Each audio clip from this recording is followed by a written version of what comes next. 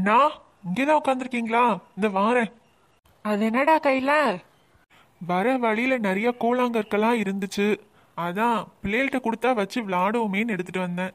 ஓ கல்லா? உனக்கும் பாதி தாரேன் பிள்ளைகள்கிட்ட போய் கொடு. சரி சரி.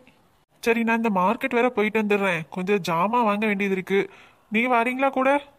நான் வரல. நான் கொஞ்ச நேரம் இதுல உட்காந்து வாய் பார்த்துட்டு அப்படியே வீட்டுக்கு போயிடுறேன்.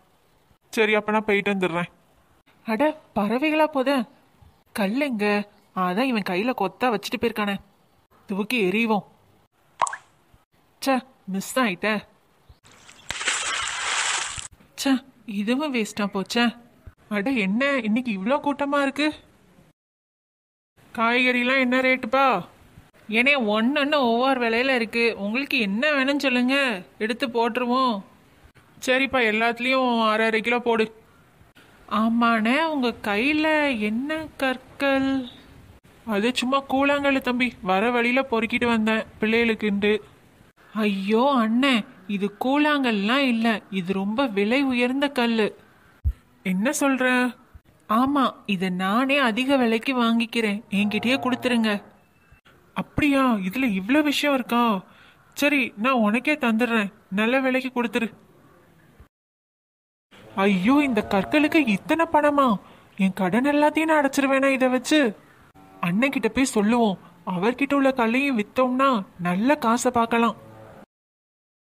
ச்சே ஒன்று கூட சிக்கலையா நம்மகிட்ட. அண்ணே அண்ணே.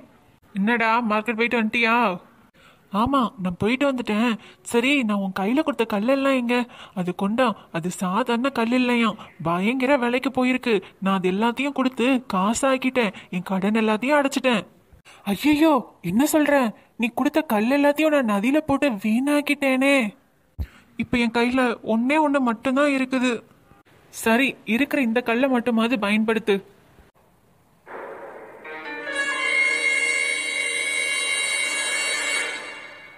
இந்த மாதிரி தான் நாமளும் கர்த்தர் நம்மளுக்கு இலவசமாக கொடுத்த நாட்களை வீணான செயலில் வீணாக்கிட்டோம். கடந்து போன காலங்களை குறித்து கவலைப்படாமல் இனிமேலாச்சு நமக்கு முன்னே இருக்கிற ஒவ்வொரு நிமிஷத்தையும் பிரயோஜனமாக பயன்படுத்திப்போம். ஏன்னா நாட்கள் பொல்லாதவைகள் ஆனதால் காலத்தை பிரயோஜனப்படுத்தி கொள்ளுங்கள்னு வேதத்தில் சொல்லப்பட்டிருக்கே. மீண்டும் நாளை சந்திப்போம்.